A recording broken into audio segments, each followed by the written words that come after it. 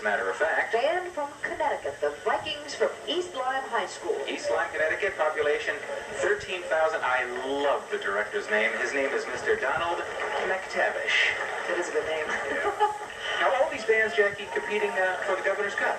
That's right. When they are in the parade, they compete for the Governor's Cup. Um, they, there are many things that they are judged on, of course. I believe there's a Heart of St. Petersburg Award for having spirit and sparkle. The Governor's Cup, as I understand it, though, is really the most important.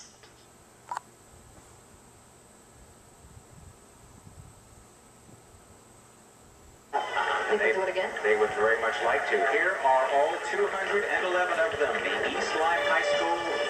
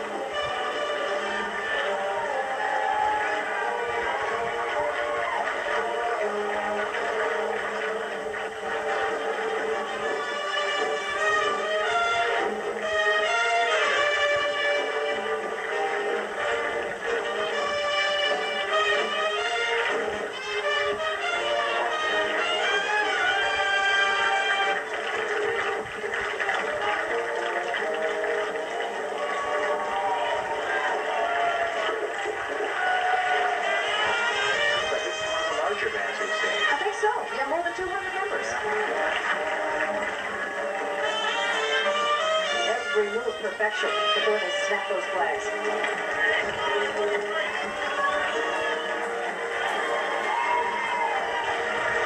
know, you could just watch something like this all day. They are just so good.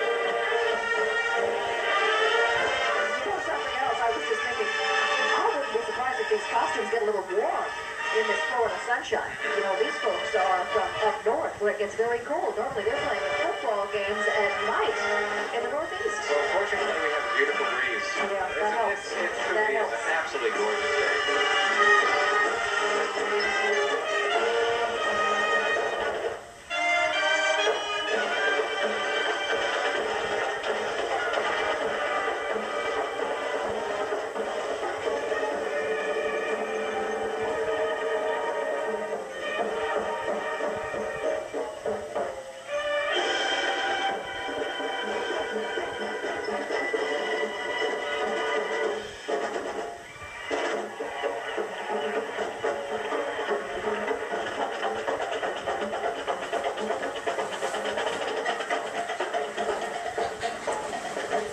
Into it.